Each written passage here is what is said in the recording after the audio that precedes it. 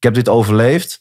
Dit is een teken. Ik, ik, ik, ik heb ik, bijvoorbeeld dit ook. Ik heb hier een tatoeage van mijn oma. Ja. En zoals je ziet, hier is nog echt een heel flink litteken. Dat Ja. zit in haar hoofd, zeg maar. Oh ja. En ik geloof echt dat zij mij heeft gered. Ik geloof echt dat zij Ja? een soort van over me gewaakt heeft. Ja man, daar ben ik echt in gaan geloven. Ik heb altijd al geloofd dat ik heb, ik heb wel eens dingen eh, gevoeld. En eh, nou, ik, ik, ik wil niet zeggen, ik, ik, ik, heb, ik, zit niet echt vast aan een religie of zo. Maar ik geloof ook in een hoger iets. Ik geloof Ik echt, kan me ook voorstellen geloof- na zoiets. Zeker. Ik geloof heel erg in energie. En Ja. dat dingen moeten zijn zoals ze zijn. En ik, ik, Had je dat daarvoor al? nou, ik, ik, heb, ik heb me wel ook wel eens verdiept in geloven en zo. Ik heb bijvoorbeeld eh, een vriend die moslim is. Ik heb meegedaan met de Ramadan. Ook wel eens mee naar de moskee geweest. Ja. Ook boeken gelezen. Ja. Met meerdere religies. Maar ik heb nog nooit echt eh, tot iets kunnen echt vinden, 100%. Maar ik ben ermee bezig.